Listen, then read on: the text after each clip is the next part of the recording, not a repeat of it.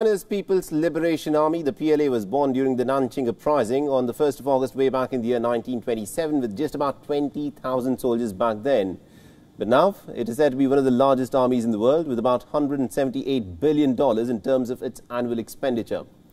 Now, on the 1st of August each year, China marks its PLA's Foundation Day and today marks its 93rd Foundation Day. And President Xi Jinping is, of course, leading the Communist Party's campaign to lead the People's Liberation Army, so it takes forward the party's ideology. He also holds the position of the General Secretary of the Central Committee and the Chairman of the Central Military Commission.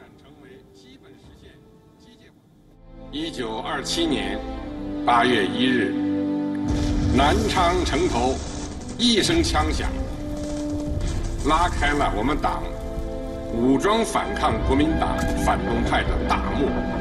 党对军队绝对领导的根本原则和制度，发端于南昌起义，奠基于三湾改编，定型于古田会议，是人民军队完全区别于一切旧军队的政治特质和根本优势。要深入贯彻古田全军政治工作会议精神。发扬政治工作生命线作用，培养有灵魂、有本事、有血性、有品德的新一代革命军人。When Xi Jinping took over as the president of China, he spoke about rejuvenating the entire nation by building a strong and an efficient military. Since then, the army has fought in several conflicts it has also helped in the fight against COVID-19. The PLA has helped deploy more than 4,000 medical workers in the central city of Wuhan in late January.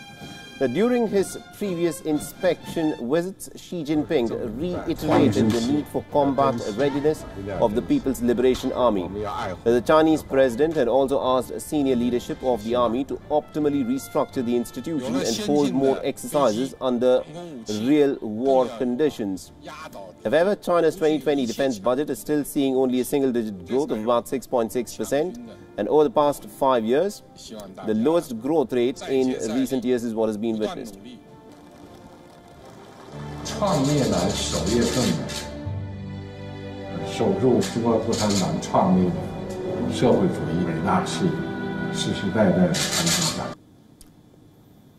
And apart from promoting strict military laws and reforms in the armed forces, Xi Jinping has also engaged with soldiers on the ground. He was seen interacting with soldiers on several occasions and assuring them of his full support.